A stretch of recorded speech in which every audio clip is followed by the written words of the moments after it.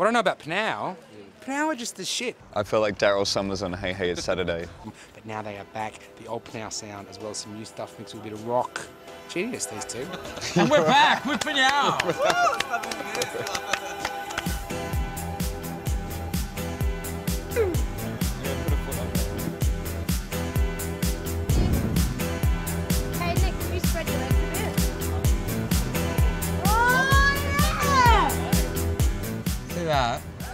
These are the 12 colours of PNAU that you can see here on the cover, and they're also on the spine, yeah. they're also on the back. Each color represents a song, right?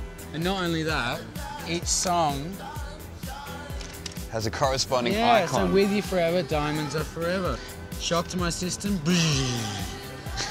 Lightning bolt. Lightning bolt. PNAU been around for 12 years now, 13 years. They started off writing a bit of doof doof stuff, and then they wrote an album called Sambanova, which was massive, massive around the world. The writing is different than recording, and writing can happen anywhere from a park bench to uh, you know a five-star hotel in uh, New York City. Not that we did that. Um, we came Kept up with this recording. one backing track, which was with you forever. We sent it to Luke Sleepy Jackson. He came back with just the most killer song, and it kind of changed everything. We scrapped everything else, Mm. and we had a new benchmark. But we had a benchmark, and then we started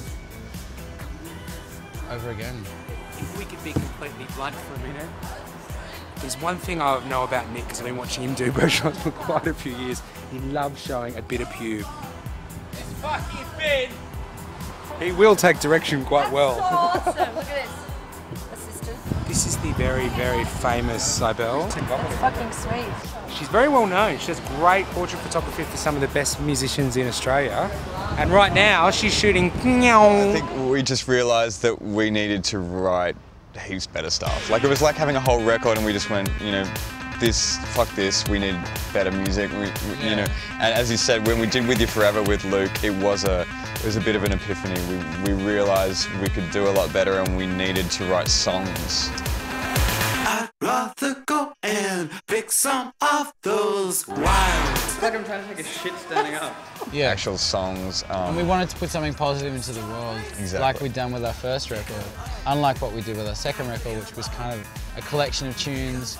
And you know, there's some good things in there and there's some whatever things in there. But this one was really about something that ran through the whole record, you know? Yeah. We wanted, like we've got with the icons, we won't damage the booklet. Exactly. Um, you know, everything ties into everything. we we tried to make songs because um, it's you know it's not like we set out to make a club record. It's not like we set out to make a pop record. But I think we just tried to do what we do, the sounds that we do with vocals. This is a you know this is a vocal record for us. So you think you can dance? More than what two, one or two vocal tracks, and this is full of vocals. So you know. For me, I sort of see it as colour. And the first record was a few colours, like it was a, a deep blue and, and kind of a velvet red. And the second record was quite black and white for the most part. This record really, for us, is Technicolor. And it's that invention of Technicolor and the birth of, of it's not even psychedelic colour, it really is primary. Uh, we just wanted to bring back the magic to things, you know? And we're going to tour Australia with a massive tent that we're going to erect in towns and throw parties in that rather than doing it in you know traditional venues and stuff like that. And there's going to be all these kind of performers and crazy tricks, and it's going to be like we're going to create a rave in every town in Australia.